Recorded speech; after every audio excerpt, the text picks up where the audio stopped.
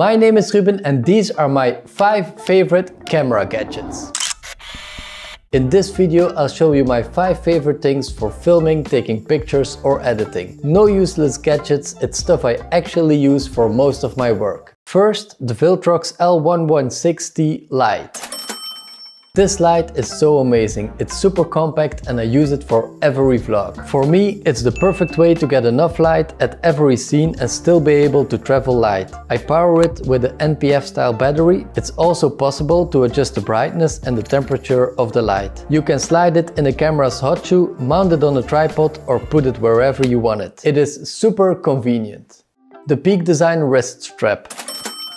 I use this strap every time I'm taking pictures. It's easy to connect to the famous anchor links and it's a great way to protect your camera against falling or stealing. Of course, you still have to be careful with your camera. MantisPod Pro.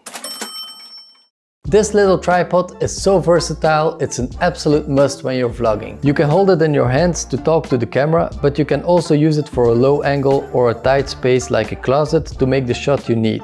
And you can also use the hook to hang it wherever that's possible. It's a great way to get unique shots. The Pro version has a ball head, but they also released a 2.0 version that you might want to check out. Wireless Go 2. Wireless Go 2 has two transmitters and one receiver, so it's possible to record two sources at the same time. You can use the transmitter as a mic, but I always add a lav mic.